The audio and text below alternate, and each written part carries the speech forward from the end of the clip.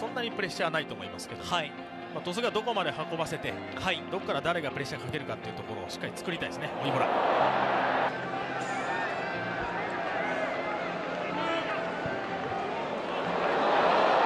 しながらね、はい。周りと連携は作りたいですね。うん。実戦を通してん。ダンクレーを送るはいメジャーワンタッチ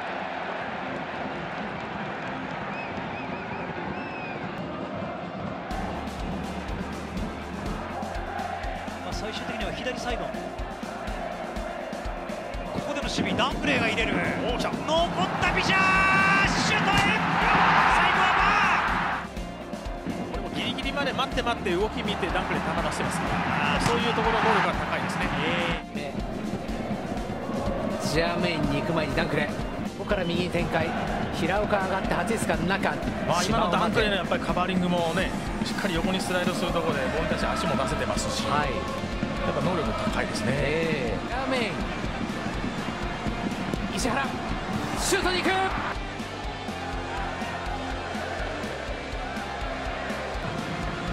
竹内から縦パス金子。あーここはダンクレーの対応です。アデミオソン。この仕掛けからダンクレーそのままボールを奪ったぞ縦にビジャがいる。全速力でパスが出た。古橋シュート。クロスバー。ダンクレーというプレーヤーも非常にあの強さもありますしパスセンスありますね。ありますね。キム・ヨンゴンから前線ファン・ウィジョへダンクレーも強いダンクレー強かったですね。さあカウンター発動倉田から。もう一度倉田に戻った。と滑った。倉田滑ってしまいましたカウンターなるかアルミソン速いぞ。あーダンクレー待ち構えていました。足が滑る。狭いところ通してきてあー浮いたか。ブロックですね。ダンクレーですね。レアンドロ・ペレイラへというところですがここはダンクレーです。フリーのカットあーそしてレアンドロ・ペレイラです。ファールはありません。いい対応しましたね。さあパトリックは俊足です。ダンクレーとの争い。体を当てながらボールをキープしますダンクレーなんとかボールを奪い取りました。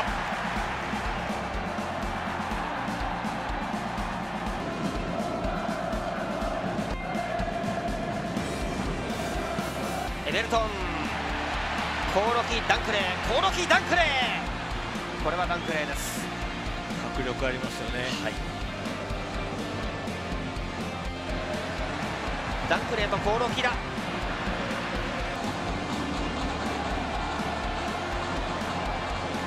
心がけてると思いますけどね。小林。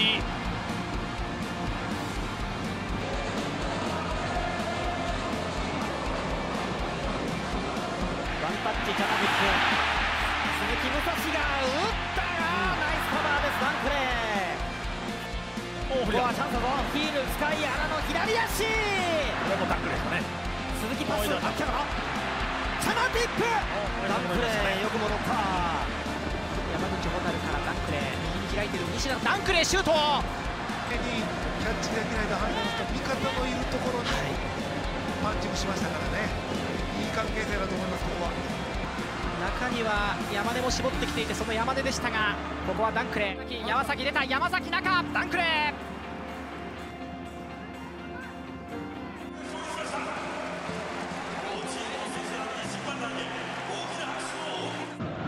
フィジカルジュリオンというところですがダンクレーの対応。前線リータナーに走ってます。さあ中川まだ持っていく。中川行く。逆サイドフリーになってます。リータナーですが。ここはダンクレーおこれは藤本の前でダンクレーかわしながら縦へパスを出す。藤本足元を収めた。ダンクレーがつくシュート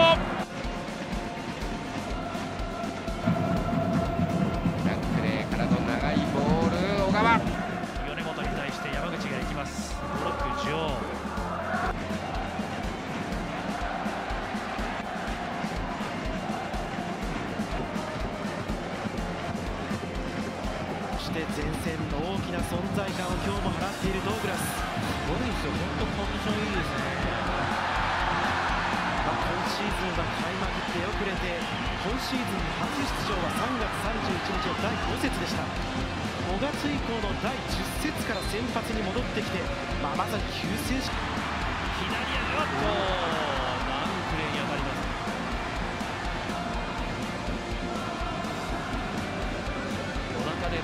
をしましたダンクレー裏は一矢報いるか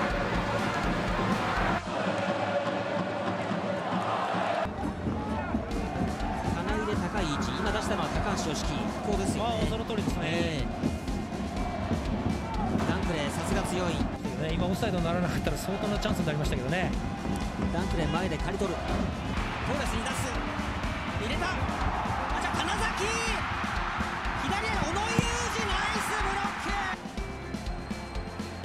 アウトサイドでね上げたことによってチャンスが広がりましたけどねトーレスのね大崎よく戻りましたね。そうです。まあ、ディフェンダーとしては、まあ、基本的なことですけどそれ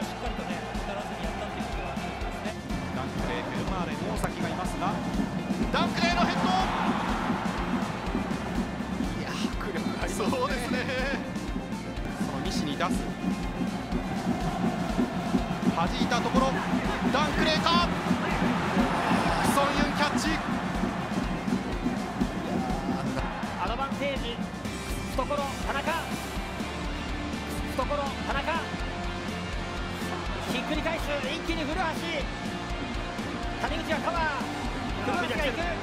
ジャが来た。ビジャを使った。ビジャだ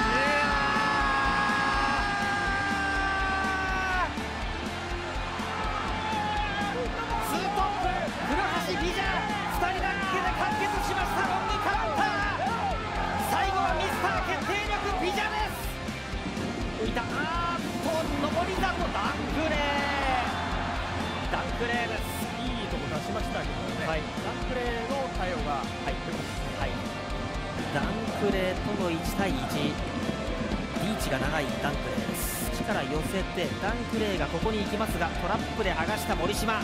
サンペールダイレクト。ダンクレーがつきます。ダンクレーが足出します。急がない高萩。これでディエゴを一発のパスで狙った。ディエゴ・オリベイラ。ダンクレーこの2人のマッチアップは非常に面白さがあります。ここはチャンスになります。仙台。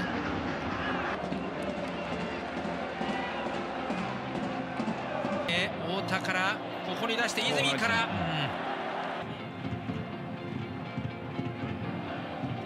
遠目からダンクレー狙っていく。力強いシュートでしたが枠の左でした。長野選手が全体的に下がってるとね、こういうミドルシュートっていうのが一つ、神戸にとってはポイントかもしれないですね。もう少しこうアウトにかかればね、そうですね。うん当てにいったかもしれないですね。はい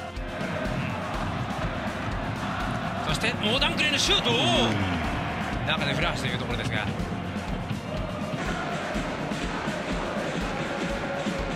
左から仕掛けて丸橋。荒井優斗スピードがあります。荒井優斗相手2人